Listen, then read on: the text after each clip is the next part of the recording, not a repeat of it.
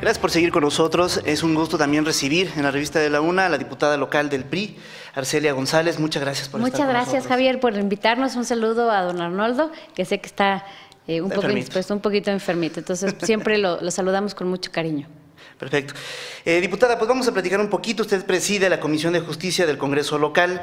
Es. Este, sabemos que todavía hay muchos eh, pendientes en lo que concierne precisamente la impartición de justicia, el funcionamiento del Poder Judicial, ajustes que hay que hacer también a las propias leyes, a la, a la tipificación incluso de algunos eh, delitos.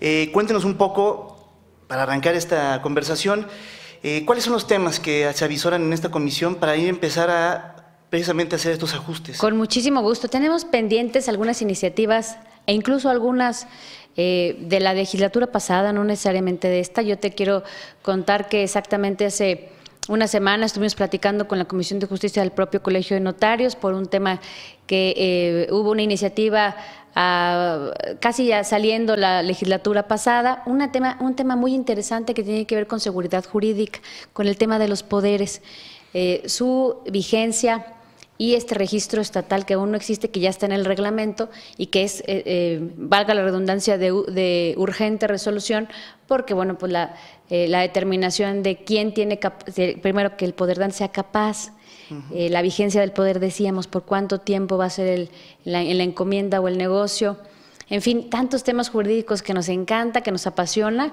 y que tienen que ver con seguridad, porque cuando hablamos de seguridad quisiéramos ver más policías, más patrullas, y, y no se trata solamente de eso, sino una seguridad patrimonial, una seguridad de integridad, una seguridad de familiar. La seguridad tiene muchos ámbitos, ¿no? Entonces, en ese sentido estaremos trabajando en la Comisión de Justicia, garantizar la seguridad de los guanajuatenses, garantizar la seguridad de los ciudadanos, de los irapuatenses, de los leoneses, de los de San Felipe, de los de Yuriria, en fin, de, estos, de este hermosísimo estado en donde la justicia no debe ser de unos cuantos, de unos pocos, de una élite, ¿no? La justicia debe llegar a quien, al ciudadano de a pie, a quien lo necesita. ¿Qué sucedió con la ley del notariado, la última reforma de la ley del notariado? ¿Tuvo algunos detalles todavía sin solventar? Es una ley que, que seguramente estaremos eh, tratando, eh, si no es en este periodo en el que sigue. Por supuesto que todas las leyes son perfectibles, Javier. Así es. Y es más, eh, en una sociedad tan cambiante, una sociedad que camina, en una sociedad que se transforma, en una sociedad que, que queremos más apertura y que, bueno, no hay, limita- no hay limitativos, ¿no? Eh, por supuesto que la ley del notario tiene también su propia dinámica y como otras tantas. En el tema de justicia, yo creo que este periodo será muy importante el sistema estatal anticorrupción Así es. que vendrá aparejado, como tú bien sabes, del sistema eh, que están viendo en la Cámara Alta y en la Baja, en el Congreso de la Unión, y que tiene una repercusión en 14 leyes, nada más 14 leyes eh, federales, y que tendrá su propia repercusión en las eh, leyes estatales. Es la creación de un sistema estatal, sí, pero que viene aparejado de un Consejo Ciudadano, de un. Consejo de Seguridad, que su repercusión es inmediata, inmediata, es decir, eh, que veremos los cambios, sí, de manera sustancial en las leyes, pero que además vendrán cambios en el transcurso también de la propia vida de la legislación que viene. Exactamente, la- la- en la práctica, vaya, yo le agregaría también algo importantísimo, eh, que la ley debería de marcar también un fiscal anticorrupción Que lo habrá. adecuado, ¿no? Así adecuado, es. completamente ciudadano y autónomo. El tema del tribunal también, eh, de quienes van a impartir la justicia, eh, de quienes van a dar ejemplo, eh, de los servidores públicos, de la ley de transparencia. Es un sistema muy complejo, eh, es, eh, me parece que va a ser una, un tema importante de esta legislatura, no solamente del periodo, sino de, la- de los tres años de la legislatura. Eh, nos vamos a adentrar al tema. A mí me apasiona el tema de la transparencia, de la anticorrupción, porque no es limitativo, además, Javier. Este tema tiene que ver con partidos políticos, Por supuesto.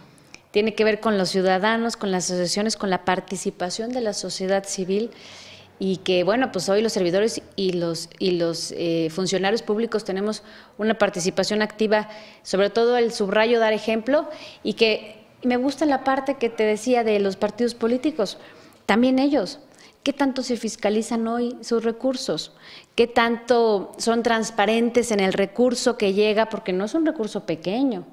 El, eh, esta, eh, eh, esta rama que tiene también en- dentro de los propios presupuestos el, el, eh, fomentar o el, el fortalecer a los partidos políticos, bueno, pues también ellos tienen una obligación importante de transparencia y de rendición de cuentas, que además el INE tiene su propio órgano fiscalizador y que tiene que vendrán cada seis meses y nos preguntamos, ¿y si vendrán? Yo también soy ciudadana, ¿eh? soy parte de partido político, pero a mí me interesa que el propio y los demás estén en esta misma congruencia, ¿no? Sí, digo, al final de cuentas reciben recursos públicos, tienen que ser y, fiscalizables. y no pocos, y no pocos. Exactamente. Así es. Eh, para cerrar este tema, ¿cómo marcan los tiempos del sistema este, anticorrupción? Eh, conocemos, bueno, que hay una... Hay que una la pauta, iniciativa. La Hay- pauta la, marca la federación este, Sí. y luego hay que romanizar. ¿Cómo, Ah, cómo se marcan los tiempos? Ya hay una iniciativa que presentó Acción Nacional en el periodo pasado.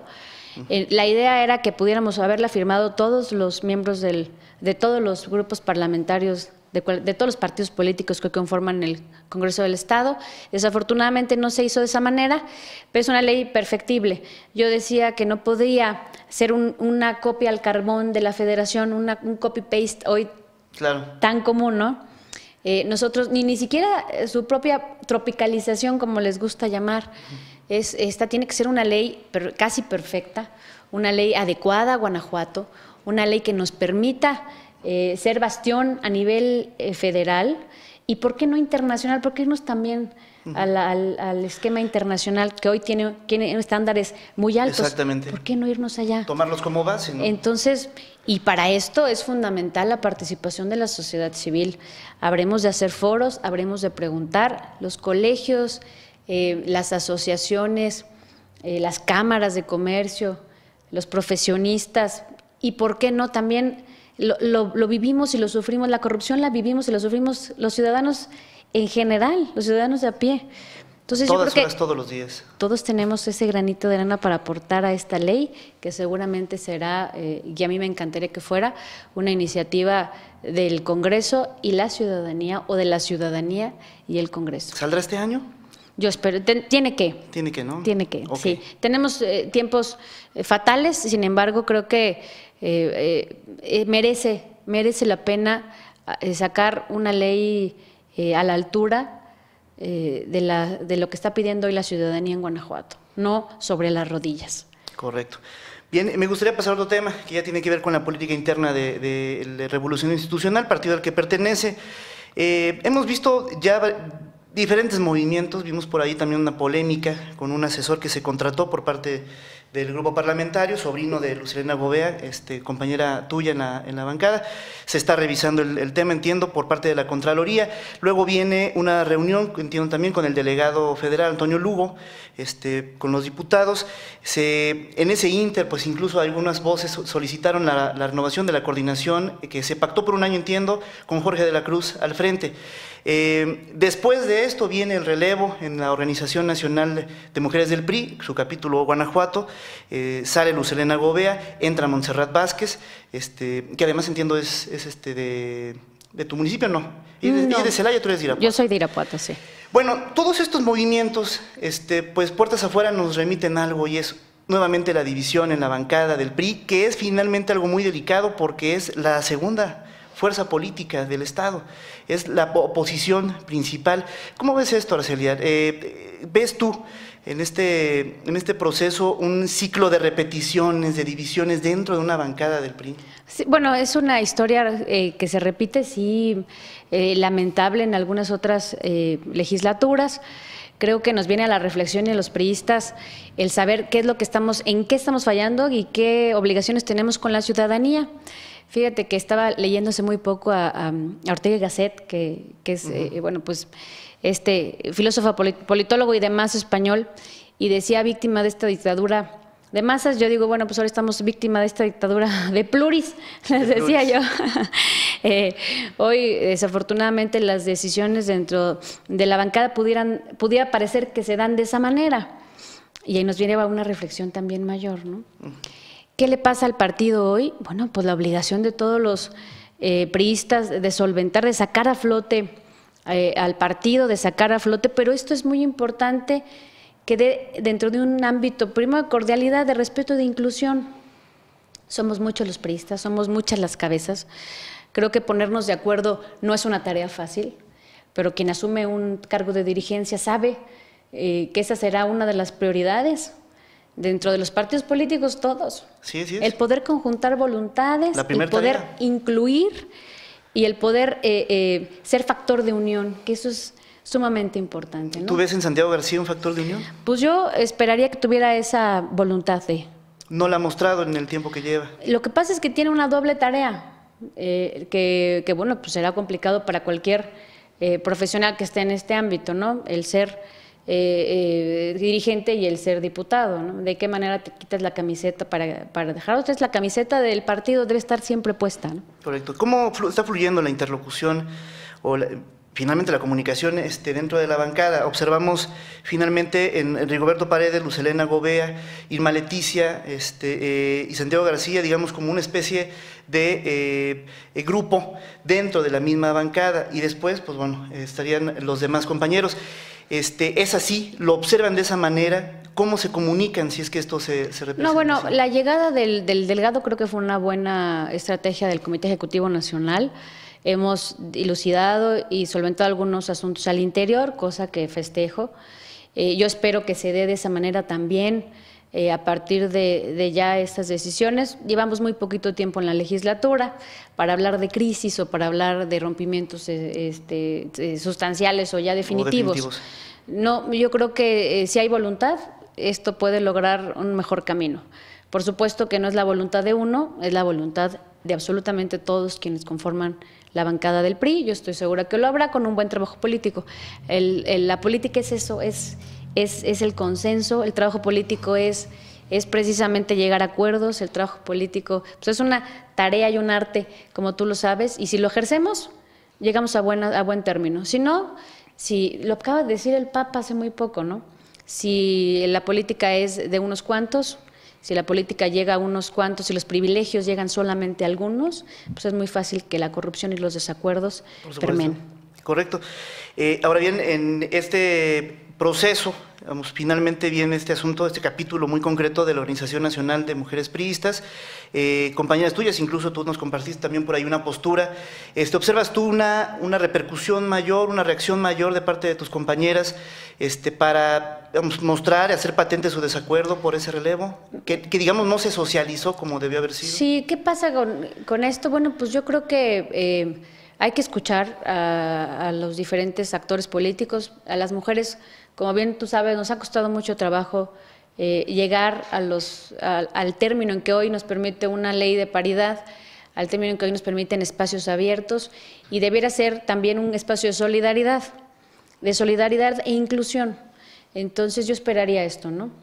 Que, que se abra la opinión, que nos permitan la inclusión que se tomen en cuenta perfiles importantes, y no te hablo en lo particular de mí, ya tenemos nosotros diputadas federales, eh, este, eh, alcaldesas, exalcaldesas, en fin, tenemos una, una eh, plural bancada de mujeres con buenos perfiles en el PRI como para segregar, ¿no?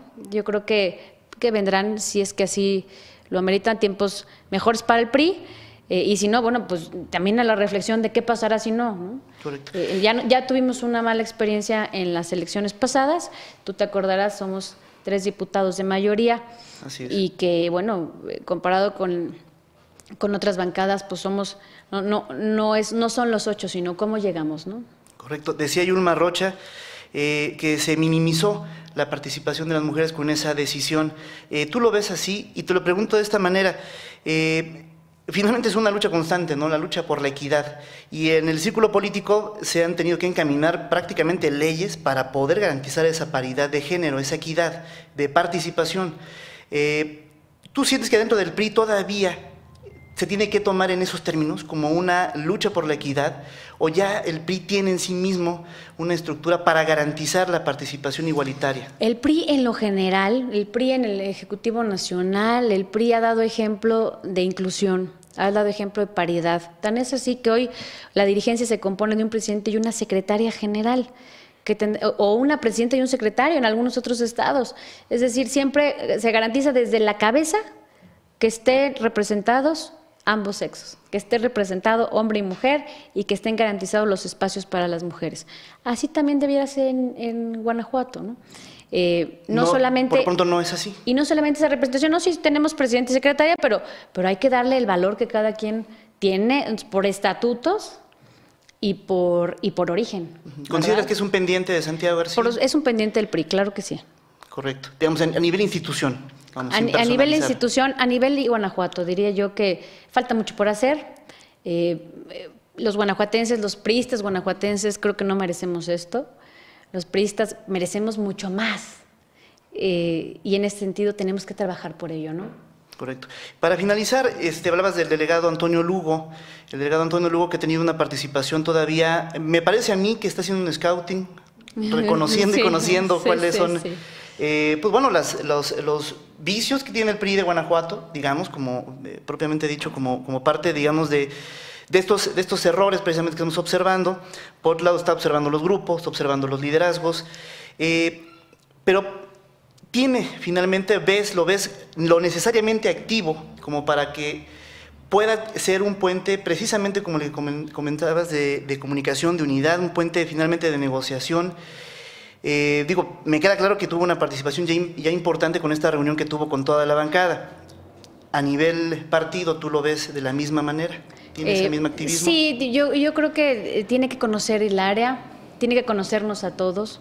Yo creo que ah, cuando aceptó la encomienda de Guanajuato sabía que era complejo. Somos un estado en oposición ya con tantos años. Sí. Desde los 94, por ahí, 91. Sí, sí. Desde, bueno, con la oposición franca desde el 91, entonces eh, somos un, un, estado que queremos estar en el ánimo del CEN, que queremos estar en el ánimo de la gente, que queremos estar en el ánimo de los, de los ciudadanos y que para eso tenemos que trabajar mucho.